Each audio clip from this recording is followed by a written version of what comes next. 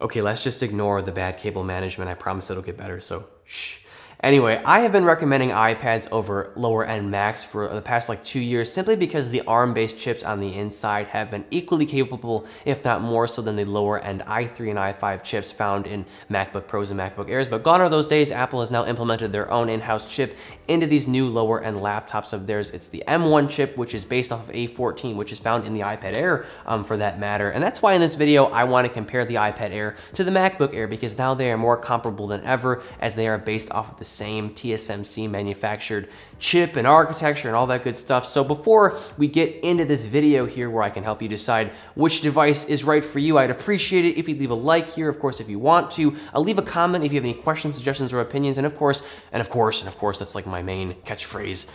If you are subscribed, be sure to click the bell icon as it does help the channel out a lot. This is what happens when it's like three in the morning. You just start losing your mind. So although we will be comparing hardware or specifications between these two devices, um, of course this is gonna also be like a form factor comparison, like which device is for what kind of person. Although I would say both are aimed at a similar demographic, but of course these devices are fundamentally different. The iPad Air 4 is very much a tablet with, you know, great accessories here. And then of course the MacBook Air is by itself just a laptop. Although both of these setups here uh, come to around 900 to 1000 USD, depending on what kind of uh, discounts you're getting or where you are in the world world. And of course, Air is in the name of these products, iPad Air and MacBook Air, so it seems even more fitting to compare them. And with that said, let's first up talk about their biggest differentiating factor, their displays. So iPad, of course, is very much a tablet which accommodates multi-touch with your finger and also input with the Apple Pencil. One of my favorite features is Scribble, so I can like write in text fields in pretty much any app.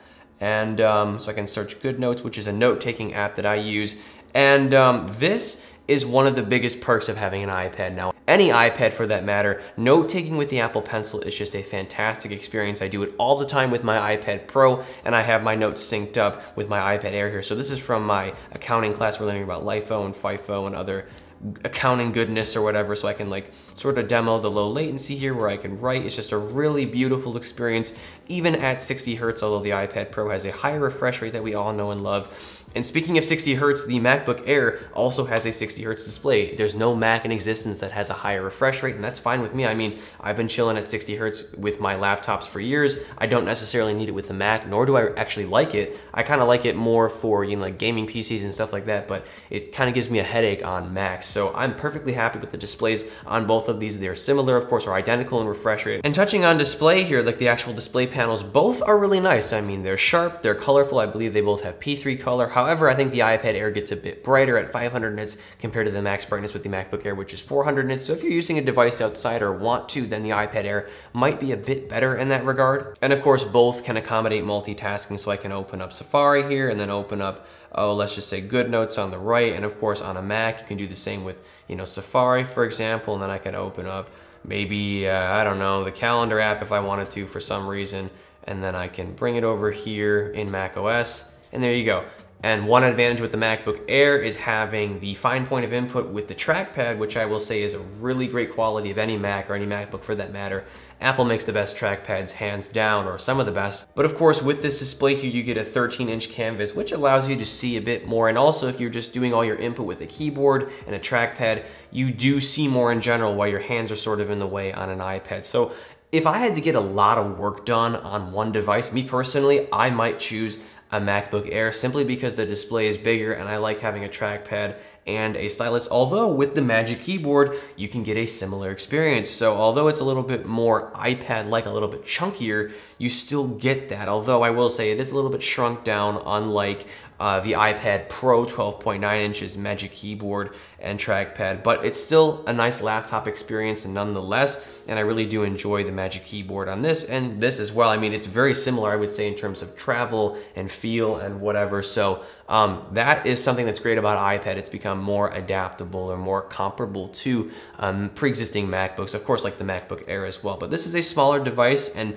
with a smaller device comes lesser screen real estate. So that's something to keep in mind, I will say. And also in terms of in-lap use, of course, this is great for just holding it and like watching YouTube videos and stuff. Like this is very much a tablet, of course. But the MacBook Air, I mean, like any laptop for that matter, that's nicely balanced or whatever, this is a very lap-oriented device. Like you can very comfortably sit down on the couch and use this. It's not very like flat footed, if you know what I mean. Like I say flat footed because like look at how flat the bottom of this is and it's always like teetering on my knees and stuff like this. I can put in my lap and just have a more comfortable experience, I would say. Although you can definitely do it here, you just gotta make sure you're not on like an incline or anything. Like you have to have your, your knees or your legs just flat out. With this, you can get more comfortable and you know, it's, it's a laptop. It's by design a laptop, so you're gonna have a better in-lap experience. Sounds kind of weird, but you know what I'm saying.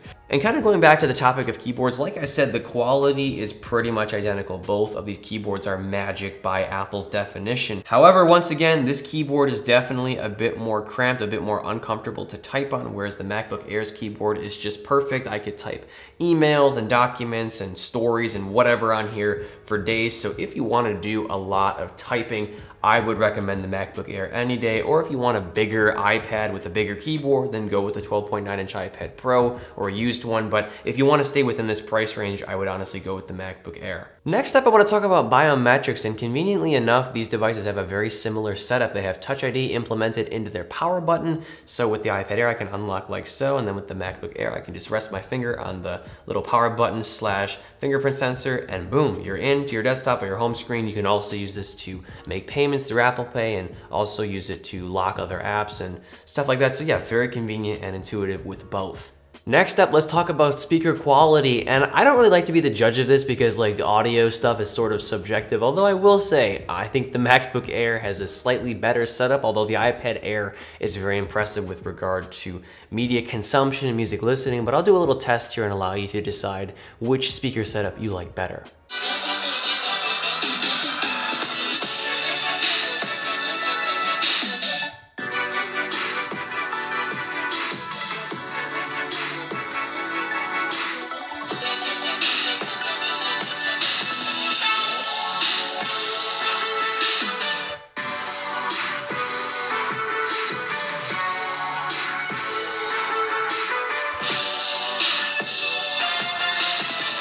Well, after doing that, I think I can at least conclude that the iPad Air definitely gets loud with its dual stereo speakers. Uh, however, the MacBook Air has more nuance and its sound more clarity, so I like that a bit better. Next up, let's quickly go over input or I.O. The iPad Air has one USB Type-C port and also another one if you add the Magic Keyboard case, although that's only capable of charging your iPad, whereas um, the MacBook Air has three. It has two Thunderbolt or USB-C ports and also a headphone jack, which is important, of course, if you are somebody who uses wired headphones for music production or whatever you do. So keep that in mind as well. We have a more versatile um, I.O. setup here, which can allow you to charge and also hook up to an external uh, hard drive or SSD, for example, like a T5, although you can use one on here as well with the Files app, so keep that in mind. And speaking of storage, um, base storage with the iPad Air is 64 gigabytes. Base storage with the MacBook Air is 256 gigs on board, although if you are doing more creative work if you, or if you need, you know, like extra space, it's always recommended, or I always recommend that you get an external SSD, so at the end of the day, it doesn't matter like too much, although 64 gigs is a bit more like tight in terms of what you can fit on here. If you need to work on projects, you can definitely use an external SSD, no problem. Although I will say, having quadruple that amount of storage does give you a bit more wiggle room, so keep that in mind as well.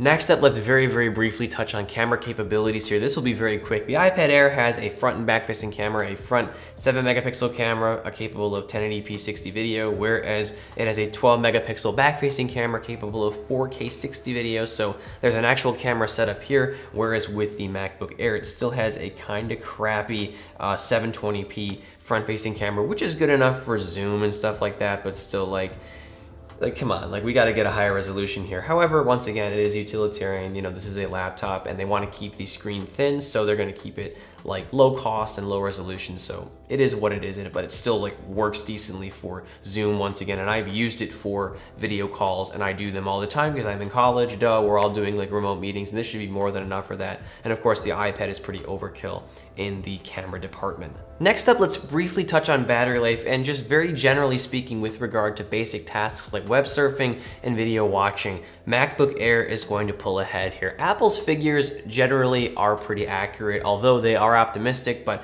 Apple gives the MacBook Air a rating of like around 18 hours of video playback within their Apple TV app and 15 hours of wireless web usage, whereas the iPad Air gets just a solid 10, which is fine. It'll get you to the day, no problem. I have had no issues with this device and iPads generally generally can do that. But if you want a one to two day device, if you're just doing basic stuff, once again, MacBook Air is going to be where it's at. However, if you are doing heavier stuff like video editing or gaming, you're gonna wanna plug in regardless. Also, Zoom calls will drain your devices pretty quickly. You know, video chatting tends to do that. So if you're gonna be, you know, doing intensive stuff, either way you're gonna plug in, so it doesn't really matter. But if you want a device that will last you longer on the road for like word processing and video watching and, you know, like Gmail and whatever, once again, MacBook Air is the device you're gonna wanna buy. Next up, let's talk about performance within these devices here. And conveniently enough, both are Apple silicon-based devices. Their processors are made by TSMC. They're based off of Apple's five nanometer architecture. And the M1 is actually based off of the A14. It's just a beefier version, probably very similar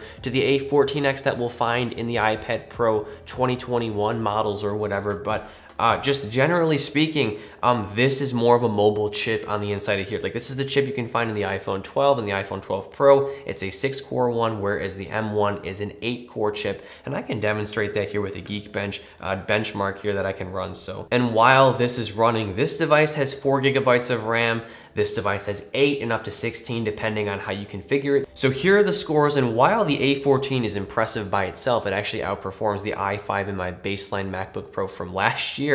Um, the scores with the M1 are just nuts. I mean 1700 single core and then 7600 or 7500 plus with multi-core. I've seen 7600 in some cases. Um, it, it's in i7 territory. This is like 16 inch MacBook Pro territory. So if you want to do anything heavy-ended, like video editing, for example, with LumaFusion, which you can actually download on the MacBook Air now. Because with this ARM processor, you can pretty much run any iPhone or iPad app, although, for example, LumaFusion is not very well optimized right now. Like, look at this viewer, it's tiny.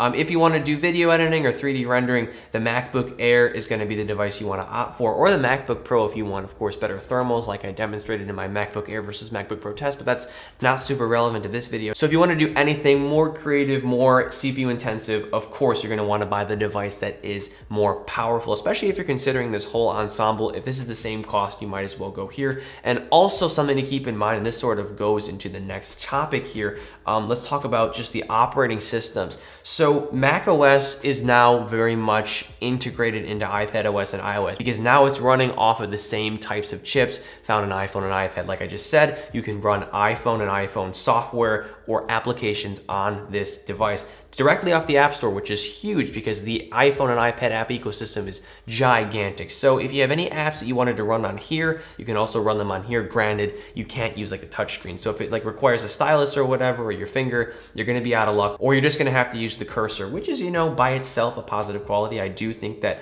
um, there is a place or a space for trackpads and cursors. Like I prefer it when I'm, for example, you know, writing papers and stuff like that and highlighting text, but of course you get the same sort of experience here with the Magic Keyboard, and similar cases with trackpads that Apple graces with their trackpad drivers. But yeah, once again, it's a real treat that these devices can now run any iPhone and iPad app. And not only that, they can run Intel apps as well through Rosetta, for example, like Minecraft Java. I mean, it runs really beautifully, even though this isn't a native app, so I can play this. For example, I did a whole um, test here. This is a great device for Java Minecraft, by the way. It can output at 60 FPS, no problem. So we can open this up here. But yeah, like can your iPad do this? Yes, there's Minecraft Pocket Edition, but can it run full-fledged Java PC games or even Steam games for that matter technically? No, it can't because it doesn't have the power of Mac OS and Rosetta. So that will be a differentiating factor between the Mac and the iPad, at least for the next few years. So this is really nice to see. And also beyond just games, you can run full-fledged professional software like Adobe Photoshop, which I use all the time for my work. So, you know, although there are great alternatives on the App Store like Affinity Photo and stuff like that, you can run full-fledged Photoshop, once again, although I didn't sign in here, on the MacBook Air. Um, as you should be able to, it is a Mac for that matter. But yeah, Adobe is going to develop their apps for the Mac pretty soon, so you're gonna have Apple Silicon-based Adobe apps, so they might bring that to the iPad, but I don't know. I mean, the MacBook Air is a very capable device, even though it doesn't have a touchscreen. But enough with me praising the MacBook Air. I'm gonna end this video talking about the positive qualities of the iPad um, Air here. The biggest thing with this is note-taking, I have to say. The Apple Pencil is just something people have fallen in love with. I certainly did. It's a huge reason why I brought my iPad Pro and iPads in general. This is a very nice note-taking device. So if you're not doing creative work or anything, although you could definitely do it on here, if you wanna take bomb digital notes, this is the device you're gonna wanna go for. It brings everything that's great with iPad Pro into a more affordable form factor. I mean, without the keyboard case here, which you can opt for if you want, um, this is like a 650 to $700 ensemble depending on if you have educational pricing available. So this is a very great student-oriented device, and so is the MacBook Air now more than ever, now that it has more power, which can accommodate other workflows and stuff like that. But once again, if you want to do digital note-taking with the Apple Pencil, and I've demoed that in countless videos, so I won't really do that here, but if you want to do digital note-taking, this is the device, and of course you can buy a keyboard to accommodate writing papers and also being able to take advantage of your display here um, more like you would with a laptop. But if you want a laptop experience and you want laptop power, the MacBook Air is now more powerful than ever. So I very much consider this as well. Although in the past, um, with like the i3 that was in the last gen um, $900 MacBook Air, I would honestly um, opt for the iPad Air considering the fact that the A14 is so much more powerful than that dual core processor. But now that, you know, M1 is in here, the MacBook Air is now more enticing than ever, I would say. Even though once again, it has the limitations of not having a touchscreen and no stylus support. But again, that's something you have to decide based off of your own individual needs. And before I wrap up this comparison here, if you are considering digital note taking, I would highly recommend checking out Paperlike Screen Protectors. Full disclosure, they are a channel sponsor, but I live by their product. Um, I use it with my daily driver iPad Pro every day for note taking, and it just brings a very realistic paper surface experience to, you know, iPad note taking, which I really like because I, for many years, took notes in composition notebooks and on paper with pencil and pen. So I like having a more engaging experience here. And also, it's a screen protector. I'm sure you've seen this sort of gash on my iPad's display here. Thankfully, that's on the screen protector, not the screen itself. So not only do you have some protection, but also you get a fantastic paper-like surface. So if you're interested, I'll leave a link in the video description. It is an affiliate link, so every purchase helps out the channel. So yeah, definitely check it out once again if you are interested. And that about wraps things up here. I hope this video was helpful. Once again, I'd appreciate it if you leave a like if you want to, comment if you have any questions, suggestions, or opinions, and of course, subscribe for more content like this. I will probably have an iPad Pro versus MacBook Pro video coming tomorrow, so stay tuned for that. And as always, I'm Noah, and I will catch you all in the next one.